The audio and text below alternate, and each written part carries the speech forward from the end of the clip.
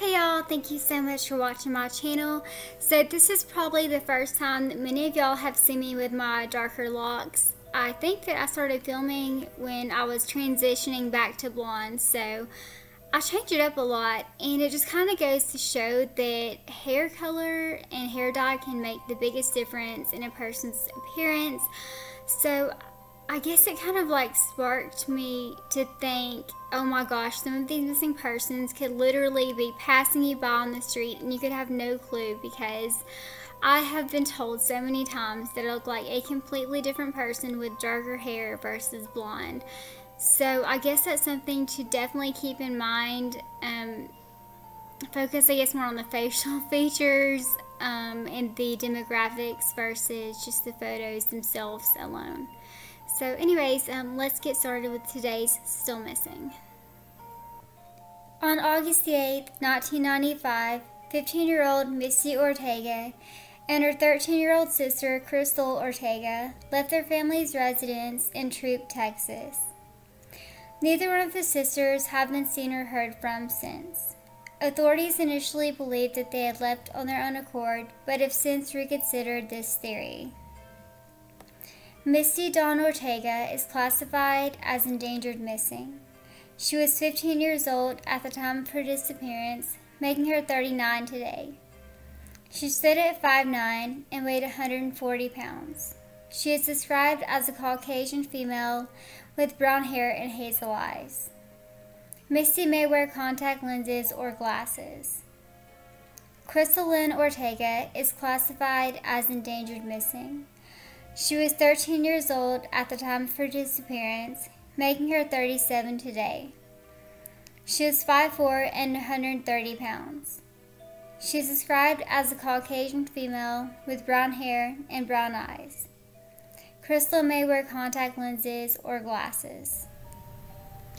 Now, for some reason, in Misty and Crystal's cases, upon my investigation, I have found two different places from which they were last seen or disappeared from, and that will be Mixon, Texas and Troup, Texas. There's about 288 miles between the two, and the family's residence was in Troup, but I am completely unsure how Mixon, Texas got introduced into where they were last seen from. If y'all can find any information on that, please drop it below because I do not know how NamUs is reporting Mixon and everybody else is reporting Troup. 17 year old Angel Dawn Wilson was last seen in Spokane, Washington on August 10, 2007. She has a long history of running away from home, and authorities believe that she had left on her own accord when she disappeared in 2007. When she was 17 years old, she got permission from her father to marry a 21 year old man.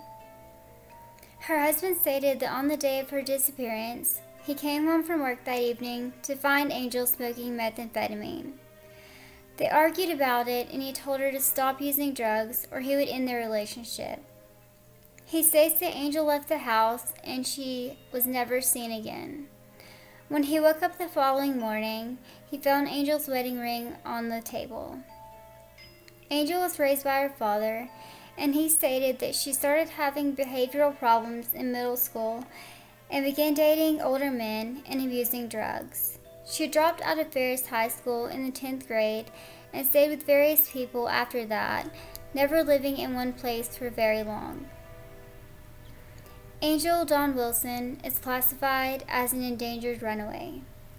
She was 17 years old at the time of her disappearance, making her 28 today.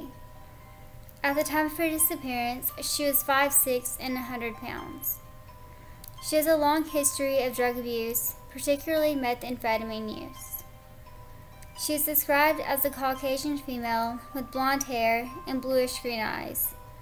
Angel has a tattoo of a heart on her right hand and a scar in the center of her chest. She may use her maiden name, Rice. Now, Angel is considered to be at risk not only for the fact that she had a high risk behavior of methamphetamine use, but also to the fact that she tended to gravitate more toward older men. On August the 20th, 1974, 16 year old Cynthia Gooding and her friend, 12 year old Teresa Alfonso, were dropped off at the Marathon Movie Theater in Marathon, Florida, which is now no longer in business. They planned to hitchhike to a party later that day. Neither one of the girls has been seen since. Cynthia had a history of dropping out of sight for a few days at a time, and because of this, investigators initially believed that she and Teresa had run away from home. Teresa had no history of running away, and her family described her as a very timid, shy young girl who wasn't having any problems at home and would not have gone anywhere with someone that she did not know. Teresa's mother is still alive and living in the area, as well as many of her siblings, and they have never stopped looking for her. At the time, Teresa was a student at Stanley Switlik Elementary School and lived with her family on 92nd Street. Teresa Armanda Alfonso is classified as endangered missing. She was 12 years old at the time of her disappearance, making her 56 today. There are some discrepancies in height and weight, ranging from 5'2 to 5'5 and 115 to 120 pounds. However, NamUs lists her at 5'5 and 138 pounds. Teresa was last seen wearing a blue shirt, brown pants, and high heeled shoes. She is described as a Hispanic female with light brown hair and brown eyes. She has a small gap between her front two teeth. She has a small scar below her buttocks. Teresa had a tonsillectomy and both of her ears were pierced. Her nickname is Terry, and some agencies spell her name TH instead of TE and misspell her last name, and others simply refer to her as Terry Riggs. Cynthia's loved ones describe her as a typical teen who enjoyed water skiing. She had moved from her mother's house in Portsmouth, Virginia, to Florida to be closer to her father and older brothers. She has a history of dropping out of sight for several days at a time. Because of this, investigators initially believed that she and Teresa had run away from home. Cynthia has four brothers, one of whom is now deceased, and one sister. Cynthia Robin Gooding is classified as endangered missing. She was 16 years old at the time of her disappearance, making her 60 today. There is some discrepancy in height and weight, stating 5'2 and 100 pounds, with NamUs stating she was 4'10 and weighed 87 pounds. Cynthia was last seen wearing blue jeans and a light blue shirt with yellow and white flowers. She is described as a Caucasian female with brown hair and green eyes. Cynthia has a scar on her left eyebrow and her ears are pierced. Her nicknames are Cindy and Cindy Robin. Investigators no longer believe that either girl had left on their own volition.